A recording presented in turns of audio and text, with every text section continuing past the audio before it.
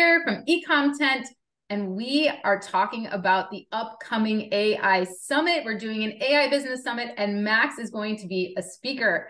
Welcome, Max. Why don't you tell everybody a little bit about how you got into AI? Hello, um, very excited to be speaking uh, at the summit.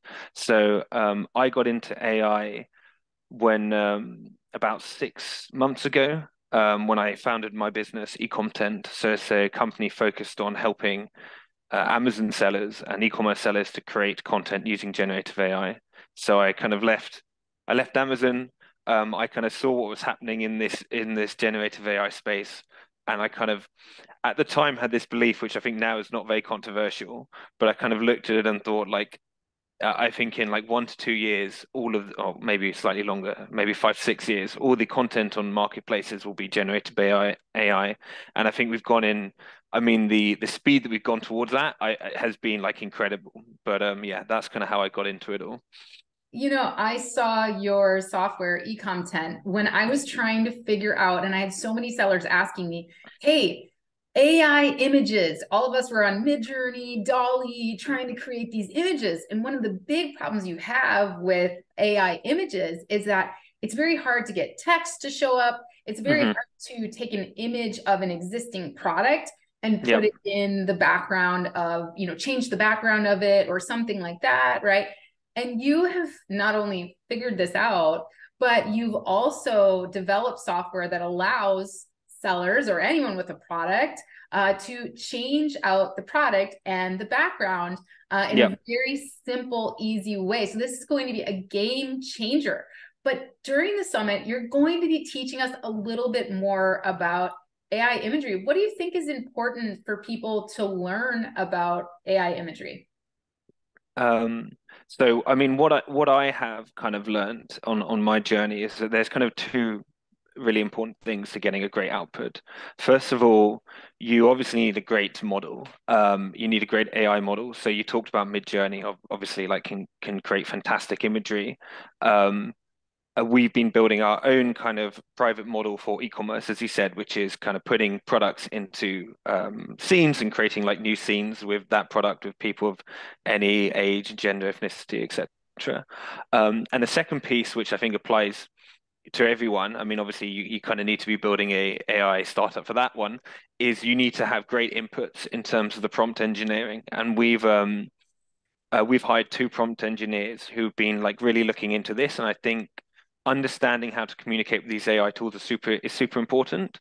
Um, and uh, i think these are also quite universal. Obviously each model is slightly different but um, generally there's a um, there's a really interesting kind of research that's going on about how how do you interact with these tools to get get the best output? And um, i'm sure you've seen like on your in playing with midjourney like you need to refine it a bit to actually get what you want. And um, there's definitely a skill to it. So that's something that we've been looking into and i'll be talking about more. I love it. I'm so excited to learn from you because I've been using uh, AI imagery for so many things. Website layouts, uh, background images, um, just cool designs based off of something that comes to my mind. Like I did one from like mushrooms the other day. Like, you know, I read something about the network that mushrooms create. And I was like, that would be cool to like turn that into an image.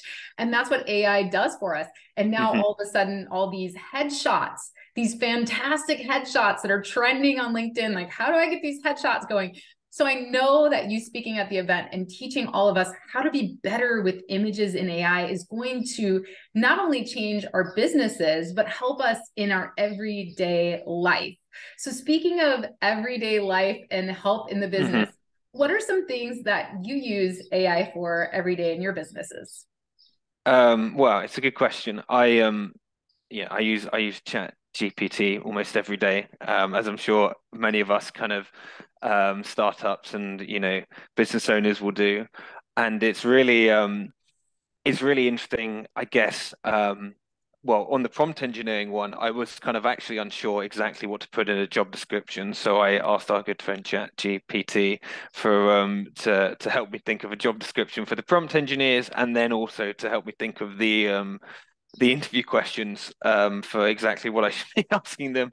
Um, so that be that be one example that comes top to mind. But I mean, um, is really useful for everything. Developing FAQs on our website is another one. Um, I think it's it's very useful just to get different perspectives. We've also done it. Uh, I think our team has done it in um, for SEO as well to try and um, I think like get different ways that people could be searching for you know what we we we know how we use our language to talk about like AI generated product imagery, but like there's a hundred different ways of saying it, right? So um, it's good to get those examples. So I guess those would be three um, off the top of my head. Oh my gosh, I didn't even think about FAQs. That's so smart. I, man, I'm gonna update go. all of my FAQs after this. Thanks for that tip, Max. I love it. well, everyone, we hope you join us at the summit. Max, why do you think that people should consider joining a summit like this with 16 plus sessions from experts who have figured out AI?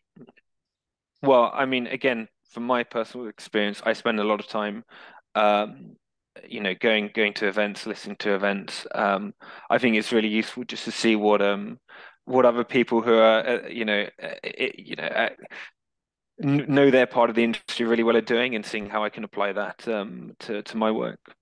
Yeah, I agree. I, I always talk about just kind of skipping all of the mistakes, skipping all of mm-hmm. you know the things. And I love learning on my own too, but just one tip from one of our speakers could really make a difference for me. So I'm actually hosting this summit this summit for selfish reasons because I'm bringing together some of mm-hmm. my favorite people in AI and having them show me in one two days. Here we go, right? 2 days how to do all of the things that they do. And so I'm so excited to be at the summit with all of you guys.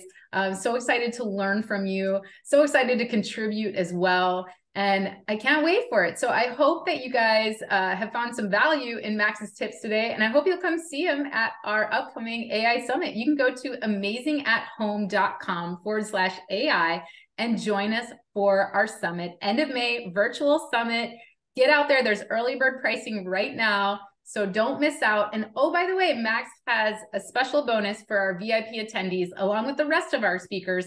You're going to get lots and lots of great bonuses and content and material from our speakers. So thank you, Max, for being here today. And everyone, we hope to see you at the summit. Have a great day.